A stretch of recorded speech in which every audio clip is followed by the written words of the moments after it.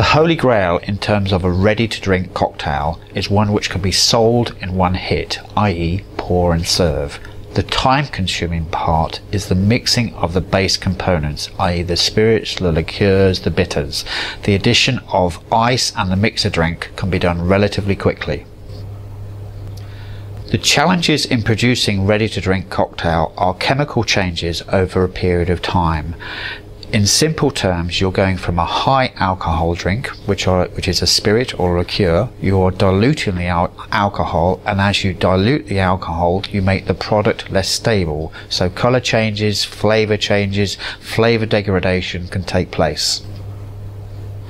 The challenges in terms of volumes, if you have a large uh, producer, uh, mass produced product, you have consistency, you then have the the, the problem of um, a significant quantity of product being produced which needs to be stable.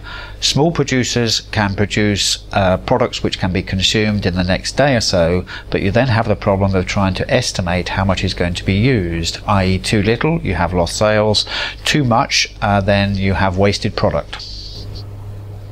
In terms of minimizing changes or mitigating the effect of changes, there are basically three ways you can do this. Uh, one way is the use of preservatives, the classic being sorbic acid, although there is a flavor impact with sorbic acid.